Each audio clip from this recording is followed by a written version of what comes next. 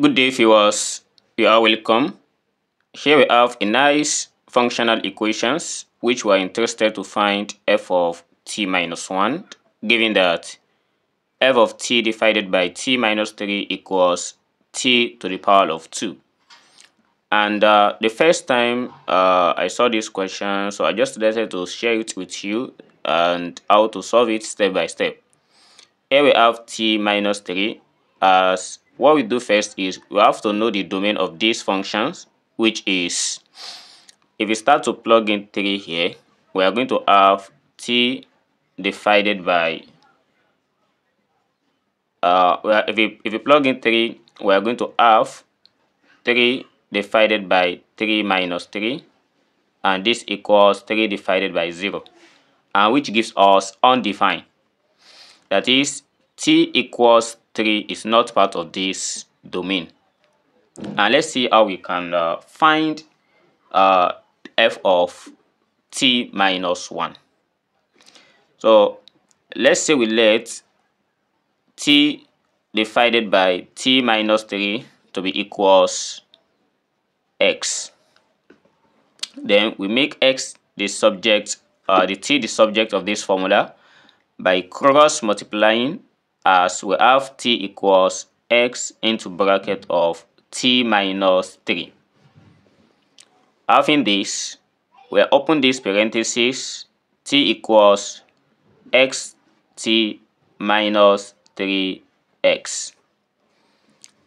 Then we are going to take this minus 3 to this side. We have 3 plus 3x equals xt. And again, let's take this t to the other side. We have 3x equals xt minus 3. Then we can factor out t from here. By factoring out t, we have t into bracket of x minus 1. Then we divide both sides by x minus 1.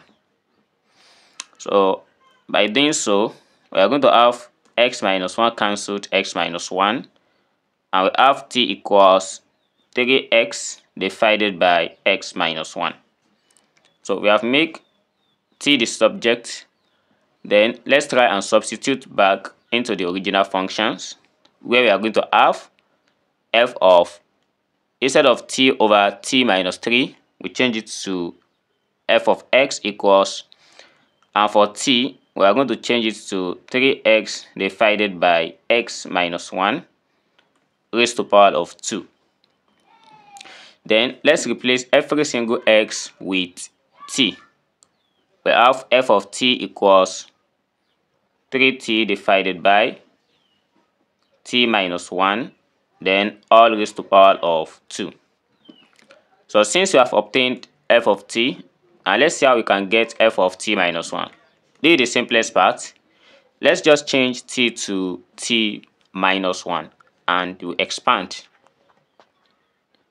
So by changing t to t minus 1, we are going to have 3 into bracket of t minus 1 divided by t minus 1 minus 1 raised to power of 2 as we have f of t minus 1 equals so uh, expand this, we have 3t minus 3 divided by t minus 2 all raised to power of 2. But we have to note that t also is not equals it's not equals 2. So for us not to have an undefined expression at this side. So this is how to solve this. Thanks for watching and uh, see you in the next video. Never stop playing. Bye bye.